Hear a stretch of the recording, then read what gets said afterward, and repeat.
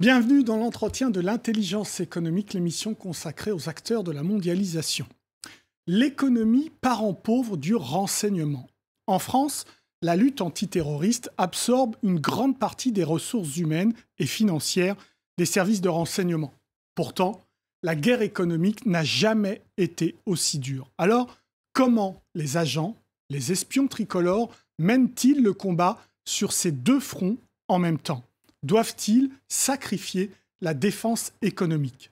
Réponse avec Loïc Kervran, député de La République en marche et membre de la délégation parlementaire au renseignement. Bonjour Loïc Kervran. Bonjour. Vous venez, là, ces derniers temps, de sortir le rapport de la délégation parlementaire au renseignement, donc qui parle de l'ensemble du renseignement. Comment se portent nos services de renseignement?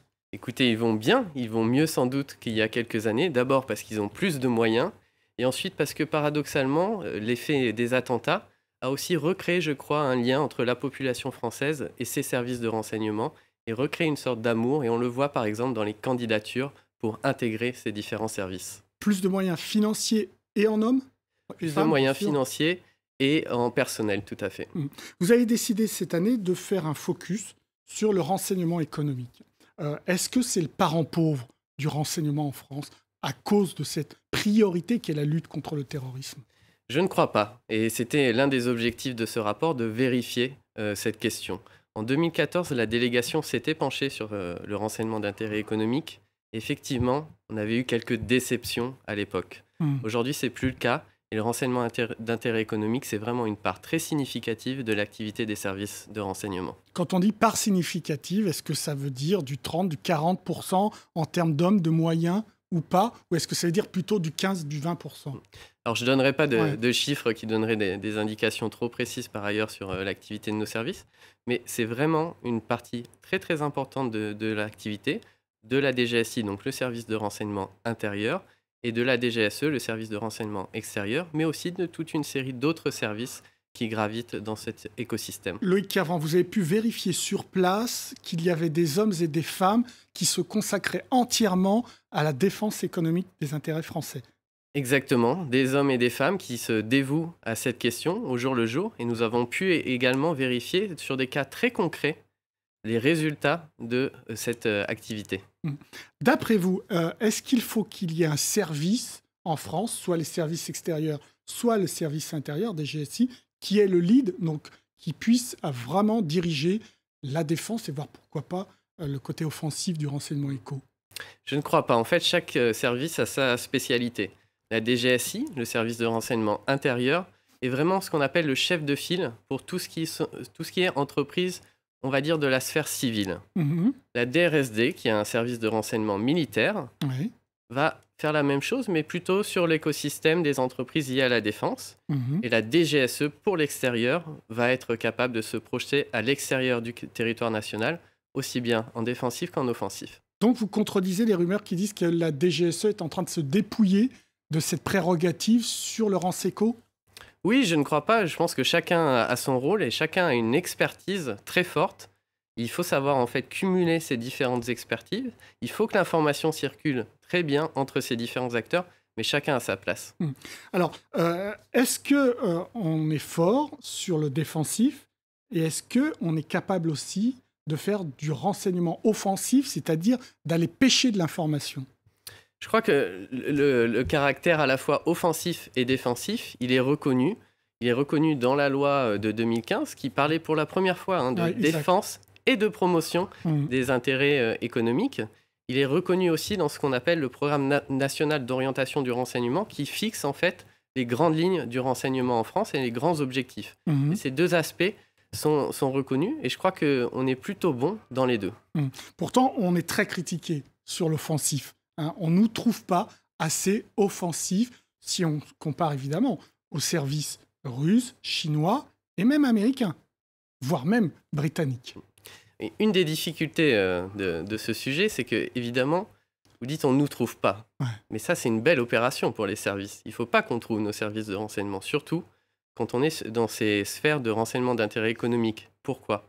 Parce que pour le renseignement d'intérêt économique, la distinction entre alliés et ennemis, elle est beaucoup plus floue que dans d'autres domaines comme le terrorisme. Mmh. Et donc la discrétion, c'est extrêmement important. Mmh. Et donc, je ne peux pas vous donner ici euh, d'exemples de réussite, et pourtant j'en ai beaucoup. Mmh. Et je crois que c'est une des, difficultés, mais ça montre aussi vraiment l'efficacité et l'excellence de nos services sur ces sujets. Une des très grosses défaites des services, quand même, c'est l'affaire Alstom. On apprend dans la presse, vous allez nous dire si c'est vrai ou faux, que les services de renseignement ont tout appris en lisant la presse sur cette fameuse affaire Alstom. Affaire Alstom que je résume très rapidement. Sous une enquête du DOJ, du département de la justice américaine, doit payer une très lourde amende et par hasard est racheté derrière par G, euh, General Electric, qui est son concurrent américain. Donc c'est vrai que les services l'ont appris dans la presse? Non, je ne m'exprimerai pas euh, sur ce que savent euh, les services exactement sur, sur ce sujet, à quel moment ils l'ont su. Mais sur le fond, c'était une décision qui était d'abord économique. Mhm. Je sais qu'il y a eu des interprétations ensuite pour dire que l'influence des services américains, etc., était disproportionnée. C'était d'abord une décision purement économique. Mhm. Et nos services sont tout à fait euh, en mesure de suivre ce genre de dossier et ils le font euh, au quotidien. Autre exemple, euh, en ce moment, il va y avoir les sanctions américaines sur l'Iran. Nos entreprises sont présentes en Iran. Euh, est-ce que les services suivent cette question? Il y a beaucoup de choses qui, sont, qui font partie en fait de, la défense et de la promotion de nos intérêts économiques. Et la question de la législation extraterritoriale, et en particulier des États-Unis, mhm. mais aussi de la Grande-Bretagne, aussi de la Chine, demain du mhm. Brésil, etc., c'est une question importante. Et donc, on peut suivre effectivement la législation, se doter d'outils pour s'en protéger et là, ce sont plutôt des réflexions législatives euh, au niveau, au niveau français. Ça dépasse le cadre pur du renseignement. Mhm. Euh, et euh, voilà, c'est ça qui est vraiment. Il y a aussi tout ce qu'on fait sur la norme, par mhm. exemple, qui est une autre, un autre moyen d'être impactant, d'aller vraiment chercher une position dominante. C'est souvent à travers la norme. Celui mhm. qui définit la norme aujourd'hui, demain, sera en mesure de remporter. Par exemple, une démission des services de renseignement sur la question de l'extraterritorialité du droit américain, notamment qui poursuivent les entreprises européennes sur la base de la corruption.